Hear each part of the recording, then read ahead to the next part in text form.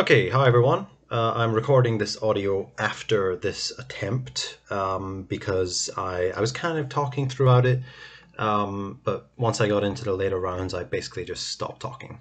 Uh, I was trying this UK Better Map speedrun. Okay, my best score was 18 minutes 7 seconds so far, which is just nowhere near good enough. Um, and so I thought, well, let's see if we can beat that. My ultimate goal is obviously to get five minutes ish or under and get on that leaderboard. Um, but I'm going to, over the next few weeks or months, just try and sort of whittle that time down as best I can. And this was the best attempt that I had today. So let's watch it. Um, so, first location, we're in a kind of uh, residential area, and I made a huge blunder here. I go up the street, I find the uh, the street sign, which is there, Adder Lane Road.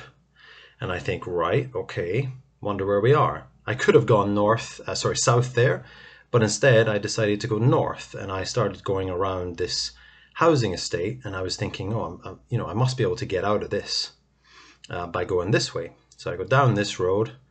I wasn't really thinking straight. So I went along here, I started going around and I just, I'm, I'm frustrated already. I couldn't see anything couldn't see any other signs, nothing that would tell me where I am. And then I stupidly went this way and I went all the way along this road. I was thinking, oh, maybe there's going to be, you know, like a lorry or a van or something like that that would give me something. And then I realize I'm back where I started. I'm back at the exact same place, Adder Lane Road. So I stupidly went around in a circle. So probably wasted about a minute. So in the end, I went south straight up this road uh, and realize this is the way I should have gone all along. Get up to what looks like the kind of main road. We've got Neil Street there. I get in here and I start looking for clues and I see there Tyne Tees and I know that that probably means we're near Newcastle or near the River Tyne. Uh, I'm looking around Front Street Barbers, so this must be called Front Street, um, which I think it is. And then over here I see Tynedale Hospice. So I think, right, Tynedale sounds like it probably is the right place. Um, it actually isn't the right place. It's actually, a, I think it's a place called Prudhoe, um, which you might be able to see there on the map to the west. But I hadn't locked that in my mind yet. So I'm looking at the River Tyne. I know we're probably not in Newcastle. We're going to be one of these little towns sort of nearby on the river. So I start going along the river. I'm looking for Tynedale which is not a place I don't think because I never found it. Um, I'm zooming around, I'm looking, and I just don't see anything. And I end up coming back to the map, and then I think I then see uh, Prudhoe on one of the shop windows or something. And I'm going to come back to it in a minute. But I'm looking along here, I'm not seeing it, getting frustrated, thinking about quitting because I'm like, oh, I've already gone around in a circle at the beginning. Um, you know, and this has taken me ages to find.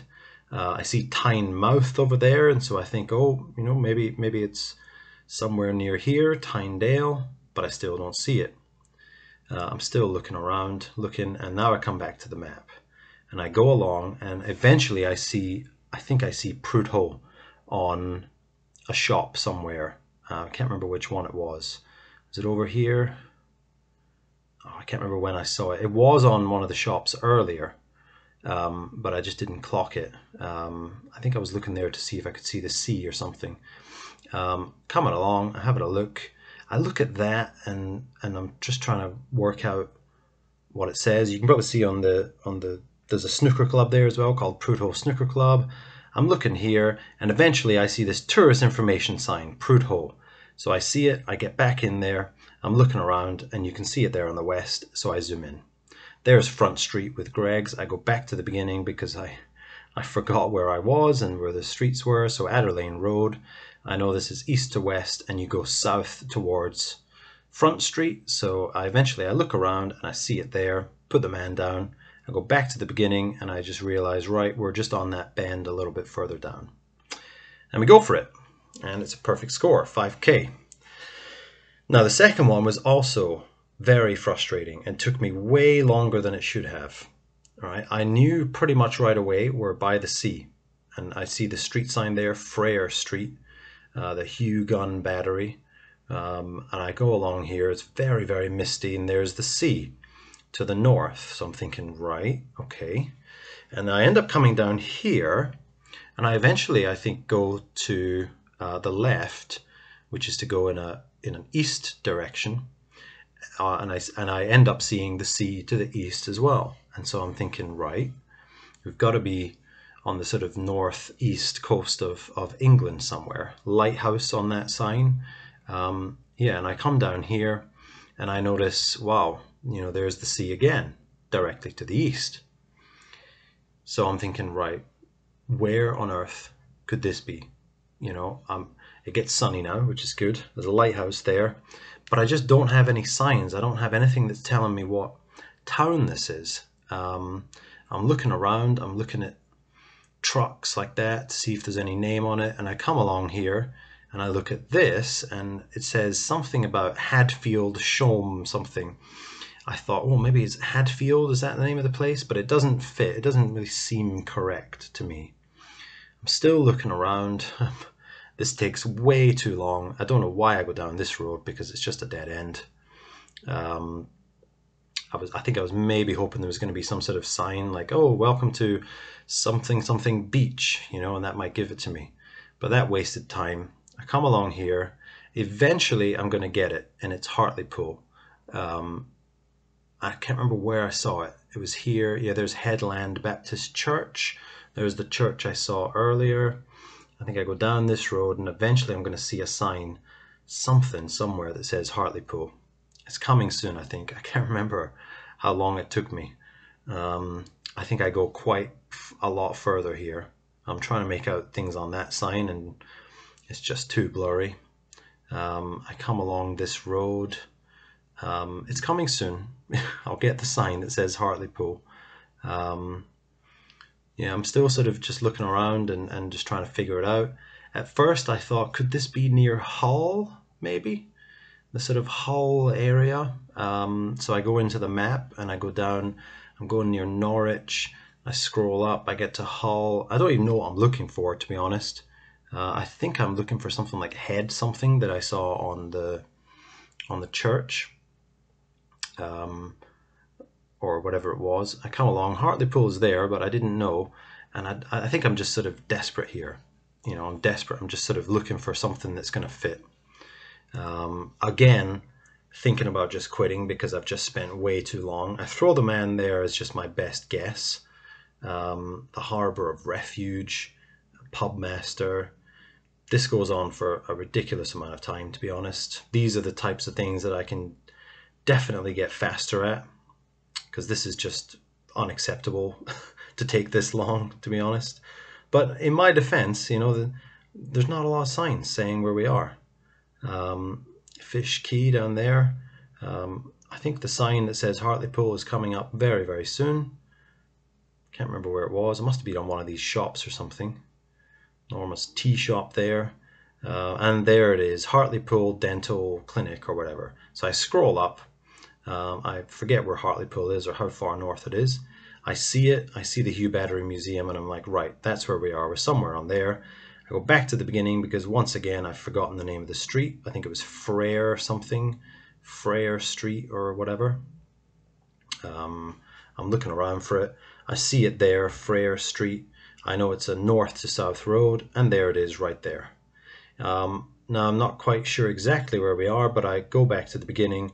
I see the little road going left and then right, or west and then east, and I'm thinking, right, we must be just before that, right in the middle of those two houses, or those two rows of houses. And I go for it, and it's right. So if you're counting the time, I think we're already at about sort of seven minutes, which is way too long. This one is a lot faster. In fact, the last three are a lot faster. I look around at some of the bins first, just in case. I go down this street and it seems like we're in quite a central area of whatever this town is. I think there must be something on one of these uh, signs for the some development that's going on. But I move and it's gone, and so I I think I end up moving again, and I'm, I'm just trying to figure out where we are again, just looking for some sort of sign.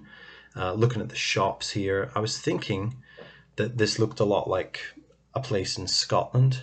Um, but was it in the end? I don't think so.